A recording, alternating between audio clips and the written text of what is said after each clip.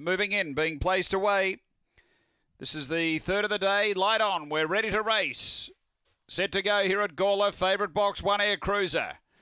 They're racing. Air Cruiser step cleanly is going to push through. Going to second, Trip Hazard, and then came Miss Jinx. They were followed by Lala Fig, and then came 58. And Memphis Fury back at the tail end, but it's Air Cruiser off the back by two to Trip Hazard. Uh, three away came Lala Fig, and then 58. But on the turn, Air Cruiser straight and clear, going well. And Air Cruiser opening up for a pretty big win. Won it by four in the end. Second, Trip Hazard, I'd say, from Lala Fig, and then 58 with Miss Jinx, and back at the tail is Memphis Fury. The time here is good, around 22.70.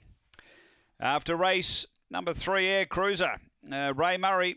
She was able to jump, find the lead, and that was the race, and has gone good time. 22.70 uh, is the confirmed run.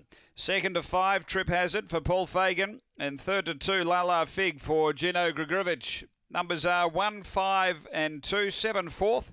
After race number three here at Gawler Greyhounds.